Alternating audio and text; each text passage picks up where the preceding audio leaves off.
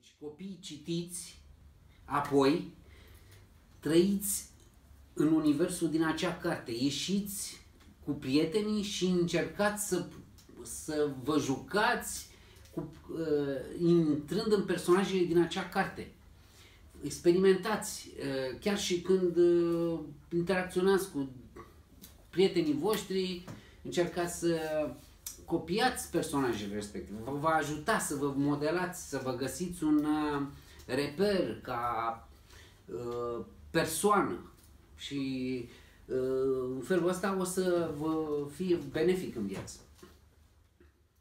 Păi, sfatul meu este pentru generația aceasta nouă să citească, indiferent că citesc uh, o carte, un documentar scris bine, uh, poate să-l citească și de pe tabletă.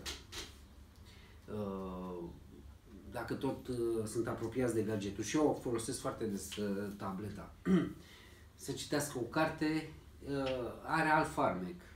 Aici depinde de fiecare, cum simte. Să citească pentru că de multe ori citind își îmbogățesc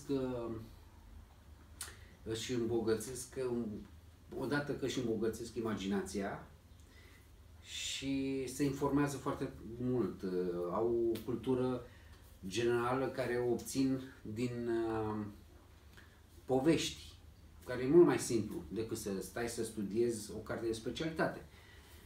Și uh, asta îi va ajuta foarte mult pentru că e, e foarte bine să ai o cultură generală.